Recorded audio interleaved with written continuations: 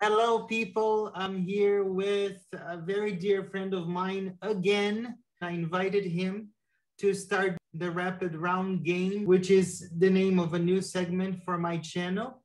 And here with me is Zdenek.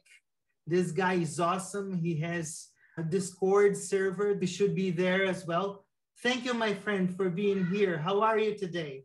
Hello, Rod. Thanks for having me. It's always a pleasure to come back. I'm all right. Yeah, thanks. Let's Right. start playing. As you are the guest, I'm gonna let you start, all right?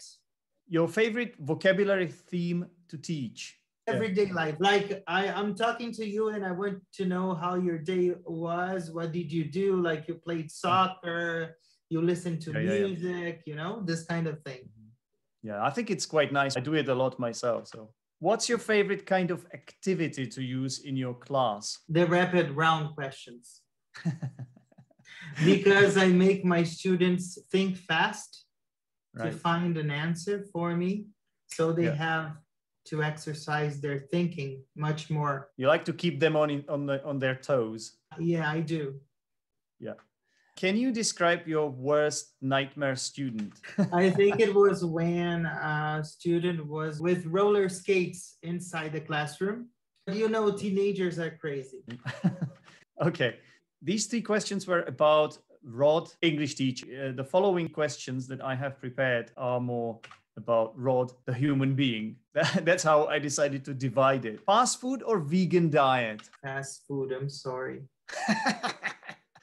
Okay. A book or a TV show? Both. I'm a bookworm and I love TV shows. Lovely. Those were my questions that I've prepared for you. Awesome.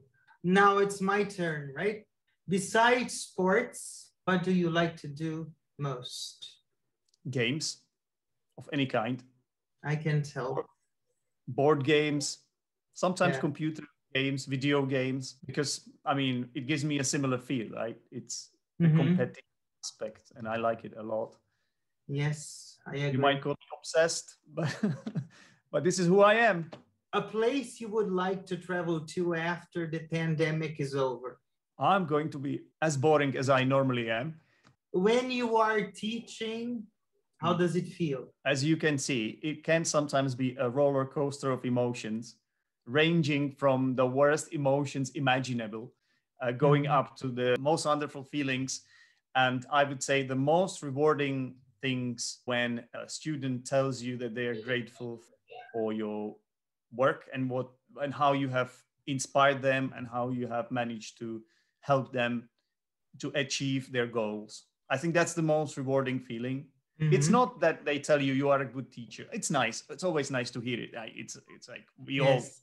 fish for those for such compliments so that's i think that's natural and we are happy Yeah. to hear, such things Yeah. but actually this is even more for Mhm. me because then i sometimes first of all i'm not sure if the, the students really mean it because maybe they just want to be nice to me but Yeah. if they tell me they because of me they managed to pass an exam or they took their english to another level and they really mean it then it, there's nothing better than that i guess I agree. I have one more question for you. When are you coming to Brazil to visit me?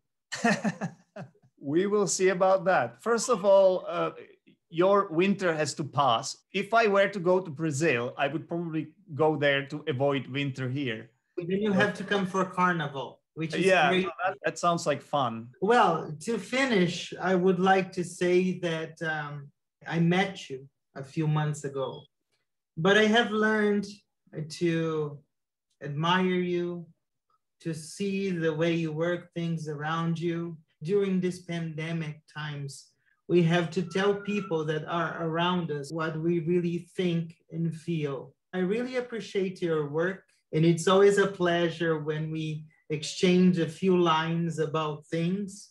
I have learned so much from you up to now. well thank, Thank you you rod so- as always i'm terrible at taking any kind of compliments nothing has changed thank you Thank you so much for accepting doing this with me, the rapid round game. I thought of you because I know that you love games. It's always nice to have you around. When I have the chance, I'm going to be inviting you to collaborate with me. And I will always say yes. Great. Thank you for inviting me, Rod. Thank you so much. I hope everybody liked this new segment. I've had my friend Zdenek here. Thank you so much. You're welcome, Rod. Bye. Bye.